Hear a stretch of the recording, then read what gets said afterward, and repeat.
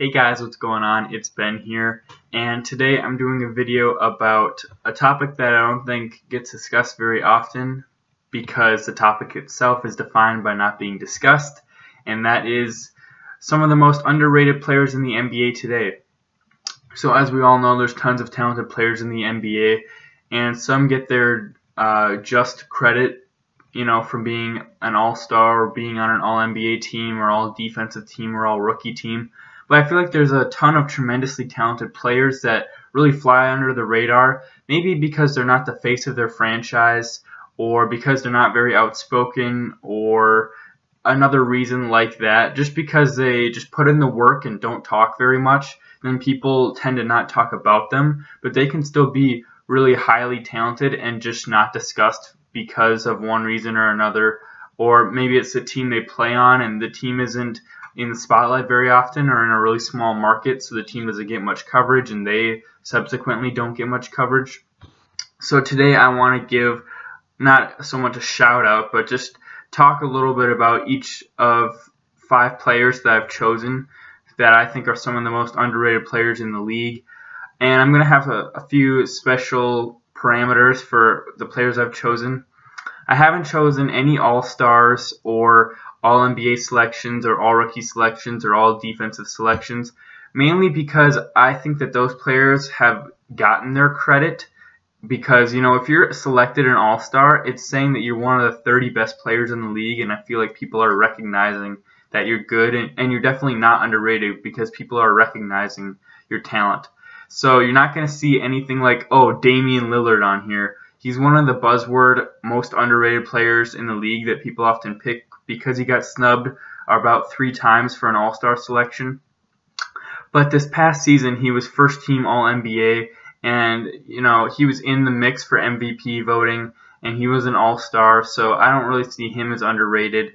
And you know I'm not going to put someone on Al Horford on here as underrated because he's like a five-time All Star. So I feel like he's repeatedly uh, um, appreciated as a really high caliber player. Same with Klay Thompson. You know, once you're a four-time All-Star, you're not really underrated because everyone recognizes it.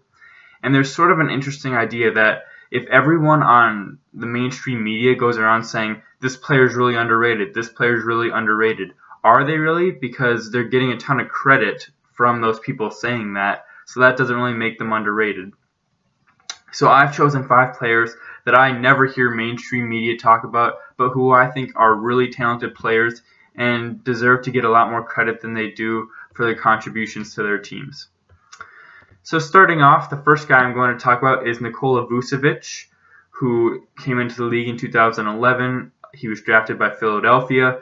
Shortly after one season with them, he was traded to Orlando as part of the Dwight Howard trade, and since he's been doing really well. His best season there, he averaged 19 and 11, and that was in the 2014 15 season. And this past season, his most recent one, he averaged 17 at 17 points and 9 rebounds a game, along with one steal, one block, and three assists. He shot 48% from the field and 32% from three. And I like this guy a lot. I feel like he is rarely discussed in the NBA, but yet he's a consistent scorer. He can score down low on the block in the post, he can score from the elbow, and he can score from three point range. He's really an all around offensive weapon I think the reason that he's not talked about as much is because of his limited defensive skill.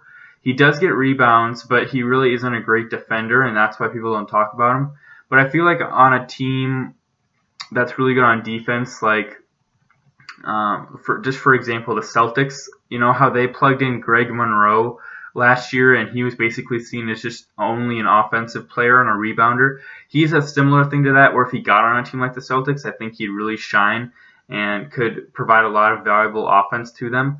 But being on the Magic, them not being a great team, he kind of gets lost in the shuffle, and a lot of times people don't even bring him up in a conversation because the team only wins 25 to 30 games.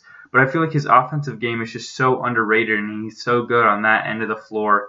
And he's you can basically pencil him in for 16 and 10 every night uh, throughout his career, which I think is really impressive and I would definitely want on my team if I was trying to find a guy who could be maybe a third option. He would be, I think, on a championship team, he could be about a third option. It sounds maybe it sounds a little too high up, but you know I think he's an equivalent talent to a guy like Clint Capela. You know, obviously in different ways. I think Clint Capela is a really good defender, and Vucevic is a really good offensive player. But I think just overall he could probably contribute a similar amount to a team. So I think the reason he's underrated is more the team he's on rather than his talent level. All right, moving on from that. The next guy I have on this list is Evan Fournier, who is also, uh, who is coincidentally a teammate of Nikola Vucevic on the Orlando Magic. He came into the league in 2012 on Denver, and in 2014 he got traded to the Orlando Magic. And he, he's an interesting guy in that every year he's been in the league, he has increased his scoring average. This past season for Orlando, he averaged 18 points a game for, uh, with three rebounds and three assists a game and one steal a game. He shot 46% from the field and 38% from three, which are really good shooting averages. And honestly, a big part of his game that I think is the reason he's underrated is well, not part of his game, but a big reason he's underrated is because he plays for the Magic and they haven't been very good as of late. Uh, you know, just when you're not on a good team, you often just get ignored. But Vucev, or uh, excuse me, Fournier definitely shouldn't be ignored. He's a very talented player, very good on offense, a little bit to be desired on defense. Not a bad defender, just pretty average to slightly below average, but not like a terrible defender. Um, but he really is a great contributor on offense, and I think his three-point touch is really why he's valuable. I think on a really good team, he could play a role. Uh, I'm trying to think of who he'd be like on a really good team, but I don't know. It's hard to come up with him on the spot, but if you think about it, every team in the NBA needs a really good shooter. I feel like if you think, here's, I got that example now. On the 2015 Hawks, when they won 60 games, I think he would essentially play the same role as Kyle Korver, except he has a little bit more of an offensive repertoire. But he'd basically just be a three point shooter and could put in about 13 or 14 points a game on a really good team and be about the fourth best player on a really good team, much like Korver was. Uh, so, yeah, I really like Fournier a lot. I think he's basically Kyle Korver, except with a dribble drive move and the ability to score off the dribble, which I think is very valuable. So on a on a contender, he could be a great contributor, and he'd be like one of those glue guys on a championship team. I think maybe like Danny Green on the 2014 Spurs, where he contributed a lot, but just no no one really talks about him all that much because he just does his role and does it really well, but isn't flashy with it exactly. So yeah, the second guy on this list is Evan Fournier. Now the third guy I'm very fond of, and he is actually on a good team, but for some reason he just doesn't get talked about all that much, and that would be Gary Harris of the Denver Nuggets. He came into the league in 2014, and I think maybe a reason he didn't get talked about much is that in his rookie year he was, um, no offense to him, but he was really bad. He shot 30% from the field, 20% from three, and averaged three points a game in 13 minutes a night which if you adjust that to playing 36 minutes is around 9 points a night, which is not that good. But since then, he's really improved. His scoring average has improved every year. He's finally gotten a chance to start. That was in 2015. He finally got a chance to start. Um, and as of this last season, he's averaging 18 points a game, 3 rebounds, 3 assists, 2 steals a game. He shot 49% from the field this last year and 40% from 3, which is really good uh, yeah, he's just like a great offensive weapon. You know, I'd say he's better than Fournier. He has more bounce off the dribble. He has more athleticism. He's a really good shooter. Uh, but in a similar mold to Fournier in that he's really good at shooting. That's probably his most valuable asset as an offensive player. Again, not a great defender. He's improving on defense, but not great. Uh, I think you'd say right now he's about an average player, so right in the middle. Um, but he's definitely improving on that side of the floor. He's a little bit undersized for his position. He's only 6'4 at shooting guard, which is a slight disadvantage, but he makes it work just fine. And I think if he can just keep improving his defense and if he can get a little bit better off the dribble, he's pretty decent right now, but if he can just improve that a little bit more, he'll be an all around offensive weapon and he can be scoring more like 22 points a game up from 18. But he's, you know, I really like him on Denver. I really like their future a lot.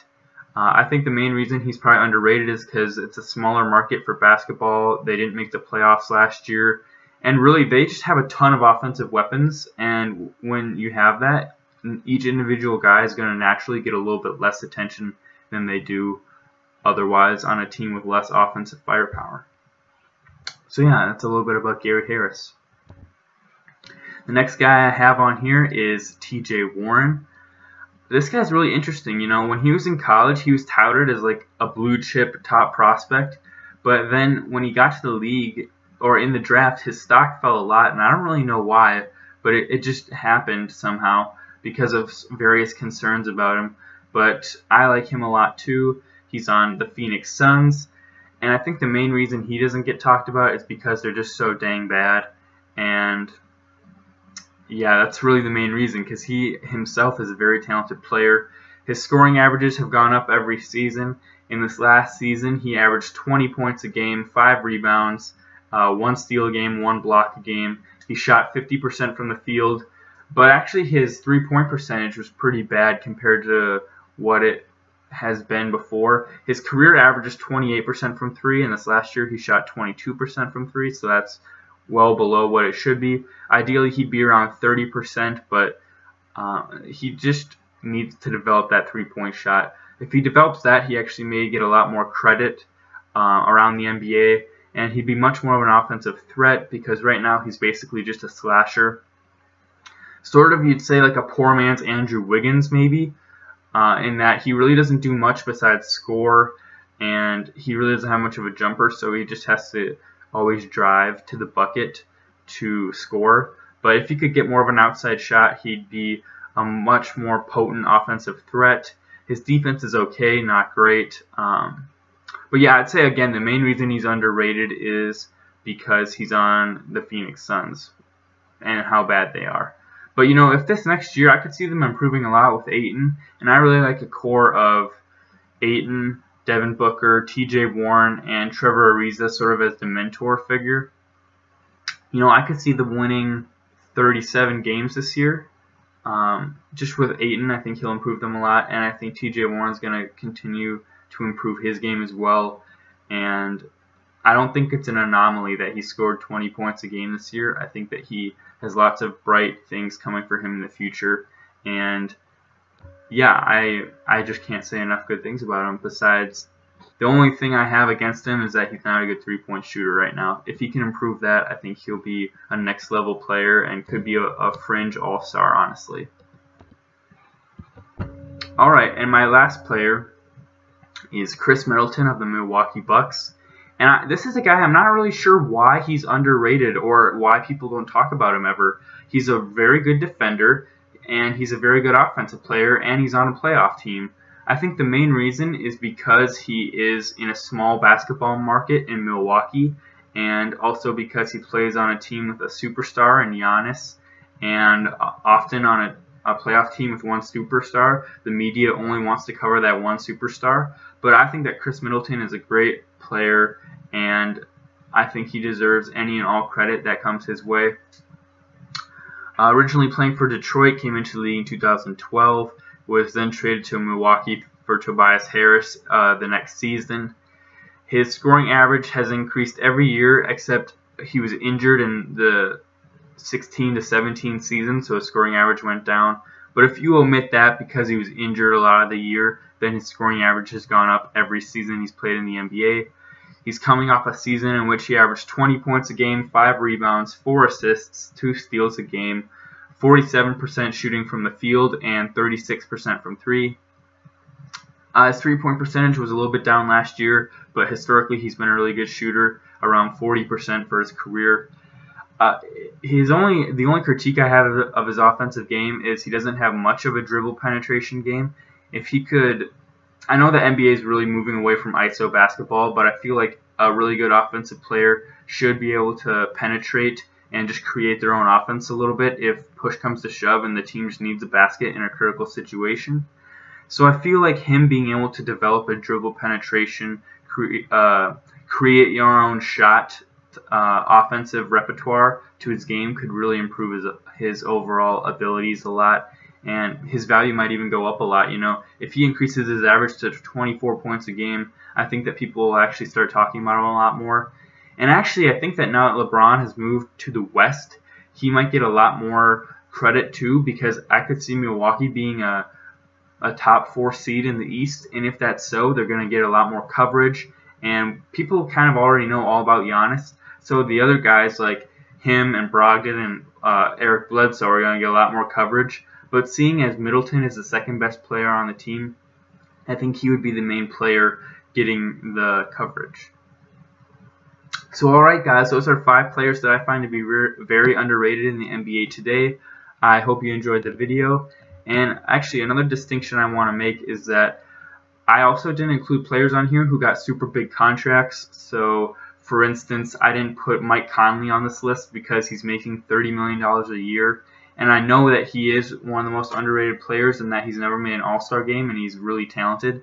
But I think people understand his value if he makes $30 million a year. Like people understand how good he is because he's getting that huge contract. Or a guy like Wes Matthews, he got a really big contract when he went to Dallas. Or Harrison Barnes, when he went to Dallas, got a big contract, about 20 million a year. So that being said, I don't find those guys to be underrated because people have seen their value on the market and paid them accordingly. So obviously their value is understood. Um, yeah, so that, that being said, that's why I didn't include some of those players. I tried to include guys who haven't gotten recognition as far as all-star ballots or other formal recognition, and also haven't gotten recognition on the open market as far as free agency deals. So again, I hope you guys enjoyed the video, and if you disagree with me, let me know in the comments. I'd be glad to hear what you guys think, and I'll see you with uh, a, another video coming soon. Alright guys, bye.